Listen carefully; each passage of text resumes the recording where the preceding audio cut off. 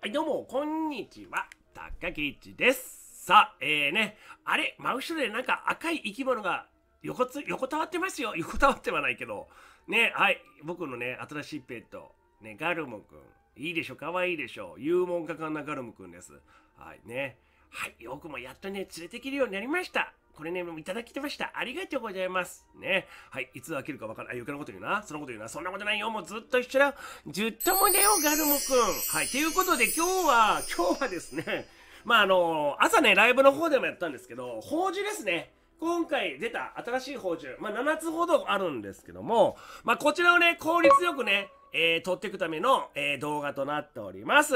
まあ、どの敵がいいのか、はたまたね、えー、この、こういうルートで行った方がいいよっていうようなね、えー、動画を作っていきたいと思います。ただな、今回内容としては、ちょっと片遅れのものじゃねえのみたいな、ちょっと宝珠なんですよね。まあ、アゲハランプの真髄とか、百花繚乱の真髄って、バンマの踊り子が流行ってる時に出してくれればよかったのにね。まあ、今後なんか強くなるのかな。まあ、でも言うてもバンマなんかは、まあ、でも言うてももう今はやね、負けんし一択ですからね、もう踊り子とかって、まあ正直負けんしよりね、柔らかいので、あんまり席はないのような気がするんですけどね。まあなんでね、運営がこの工場を出したかどうかちょっと、まあこの先ね、答えがあるかどうかわかんないんですけども、えー、まあタナトスハント、ネメシスね、えー、エッジのね、真髄とかも出ましてね。まあこちらの工場をね、今日は取っていきたいと思います。まあなんといっても今回の目玉商品としては、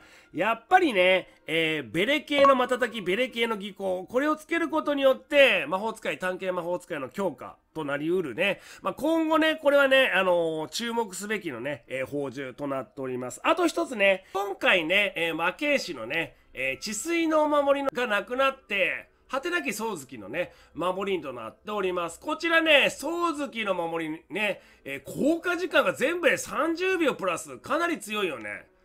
ガード。ガードができるんだよね。鎌ガード、武器ガードか。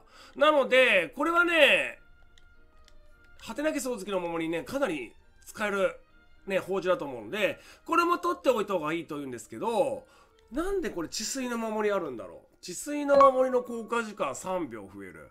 あれこれ、噂では、この宝珠を持ってたら、勝手に宗月の守りになるってさっきちょっと聞いたんですけど、あれ？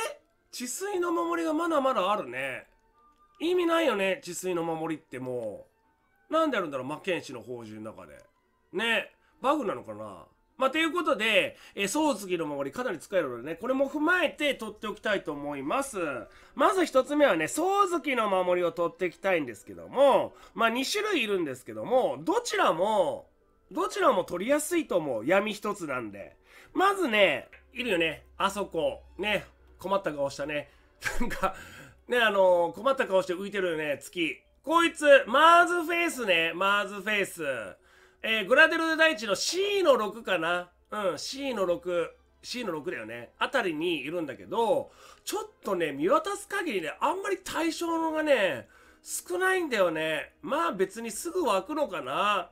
で、えーこいつの場合だと、はい、なんと、はい、果てなき攻撃呪文アップとメラギラの呪文極意と、えー、そう、果てなき掃除機。ね、闇さえ落ちれば、もう一発でね、確定なのでね、ファースフェイスでもね、えー、楽なんではないでしょうか。で、高木ちゃん、ちょっと僕、魔界いけないんですよ。まだまだ魔界いけないんですけど、魔剣士のね、宝珠揃えたいので、っていう方、そういう方は、そういう人は、こちら、えー、バージョン3、4かな？バージョン3だよね。えー、氷の、とこしえの氷原だね、氷の世界の。うん。F の6、ね、右方向に、大体このね、えー、マーズ・マーキュリーだ、デス・マーキュリーだ、マーズ・マーキュリーちゃうわ。デス・マーキュリーがいるので、まあ、この子を相手にすればいいと思います。この子も、デス・マーキュリー君も、なんと、はい、ドン、闇をね、一つ、超もう闇、とにかく闇さえ落ちれば、もう確定なので、他は光なんだよね。うん。なので、まあ、どちらもね、いいと思います。おすすめです。かなり。次にですね、こちら、ベレ系の瞬きね。ベレ系の瞬き。落とすモンスター、ポイズントリル今日しかいないのよ。この子しかいない。まあ一番近い場所はこちらな。ブラニック採石場かな。うん。アビスジュエルで、バルディスタの要塞の採石場、これをね、この中にいるので、ね、ポイズンリトル今日買っていってください。えー、風の宝珠、まあ緑色の宝珠だね。うん。風の宝珠を落とせば確定なので、楽にね、落とすと思うのでね。はい、ポイズンリトル今日頑張って買ってください。まあ特にね、今回の目玉としてね、探検魔法使い。まあ言うてもでもね、5.5ね、アップデな、ね、開けてみて、ね、両鉄へのがね、使い勝手がいい。まあ、なんつったって探検だとね、準備期間がめんどくさいということでね、まあちょっとね、探検魔法使いかなりね、不遇な面を見せてるんですけども、まあこちらのね、瞬きとね、次の技巧を取って、次の聖職者に出るのかな？まあこの調子はちょっとわかんないよね。まあこうご期待ですよね、ベレ系。はい、次こちら。えー、ベレ系の技巧ね。ベレ系の技巧。はい、バブルスライム今日が出ます。で、ゲルヘアヘアの、えー、大体どうだろう、B の6あたりかな？ぐらいに、バブルスライム今日かなりいっぱいいますのでね。まあ、ただこいつはね、ちょっとね、水をね、2つ落とすんですよね。鉄壁の毒ガードと、ベレ系の技巧ということで、なので、水確定ではないので、まあ、何個かね、保険として持っておいた方がいいですよね。ベレ系の技巧。まあ、他にモンスターいないしね。まあ、なので、バブルスライム今日ちょっと頑張って勝ってください。はい、次にですね、あと4つほど残ってます。タナトスハントの真髄、ネメシスエッジの真髄、アゲハランブの真髄、えー、百花繚乱の真髄と4つね、あるんですけども、こちらちょっとね、ストーリーを進んだとこに閉ざされた水路っていうとこがあるんですよね。そこの水路にもうこの4滴出てきます。うん、この4滴出てきます。ので、あとはここを道順に行けば、えまずね、こいつ、えー、お化け人で今日、アゲハランブの真髄を落とすんですよね。うん。もう、えー、2階だね。2階の、えー、D の3ぐらいかな。こいつ。ただね、こいつね、お化け人で京くんね、はい、見ての通り、全部闇なんですよ。闇。いやらしいよね。アゲハランブの真髄、デュアルブレーカーの極意、ギガスローの極意。うん。まあ、なので、ちょっと3つ高木ちゃん、闇嫌ですよっていう方は、メタッピー今日がいるんだけど、こいつもアゲハランブのね、えー、真髄を落とします。ただし、ただしですね、こいつも闇2つです。うん、闇2つです。まあ、なので、まあ、3つよりはまだね、2つからの方が選びやすいと思うので、3つから選びたくないよっていう方は、メタッピー今日のがおすすめ。はい、さらにね、3回へ進みますと、こいつ、まあ今ね、かなり人気のね、モンスターとなっております。ね、あの、新しいね、素材が落ちるということで、えー、驚く絶叫くん、かなり人気ですよね。おぼろ水晶でしたっけ？で、こいつが、百花繚乱の真髄。まあこれはね、闇をね、落とせば、確定で、えー、落としますので、かなり楽ですね。もう一つね、エンタシスマン今日がいるんですけども、まあそいつが、闇が2つ落ちてる、落ちるので、まあ、えー、百花繚乱の真髄は、まあ、孫ほどなき、この踊る宝石からね、取るのがね、一番ね、えー、おすすめなのでね、しっかりとね、こいつから取ってください。はい、そし、そしてなんといっても、こいつ、今回のね、えー、今回の強敵、まあ、ちょっとね、バカにしてるとね、すぐ全滅します。1、2体ぐらい、2体ぐらいかな常に2体ぐらいに抑えて呼んだ方がいい敵です。このメガジラフ君。ネメシスエッジの真髄、闇さえ落ちればいい。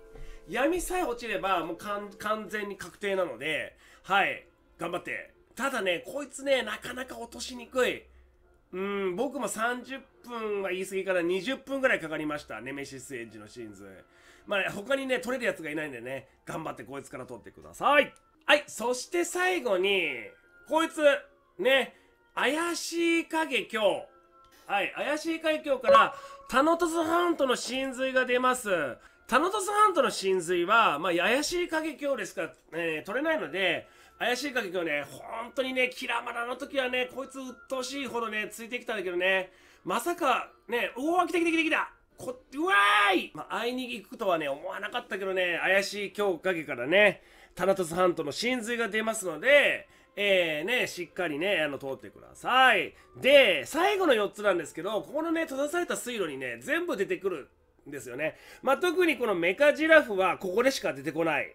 ですけど、他のね、モンスターは別にね、ここだけじゃないので、もしね、僕めんどくさくないよという方は、はい、こちらのザード遺跡で、なんと、はい、メタッピー今日、そして怪しい影今日、はい、踊り宝石今日が、なんとザード遺跡でここの3つ、ね、百花レオラの真髄、タナッタトハントの真髄、アゲハランブの真髄が、なんとザード遺跡で3つ集まるので、まあ、あとはね、メカジラフのね、ネメシスエイジの真髄だけが取れないという状態なんですけども、ここの3つを取りたいよっていう方は、ザード遺跡で取るのが一番いいかもしれないですね。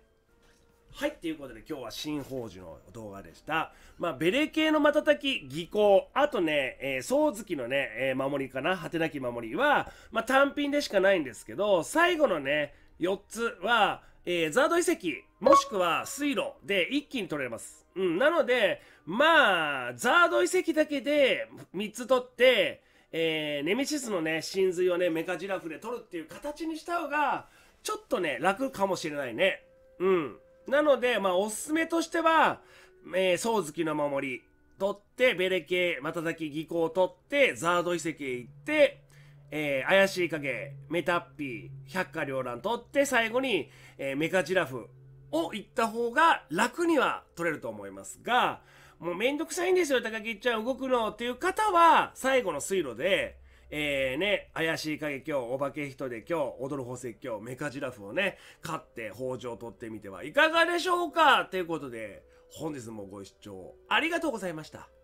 また見てね。バイバイ。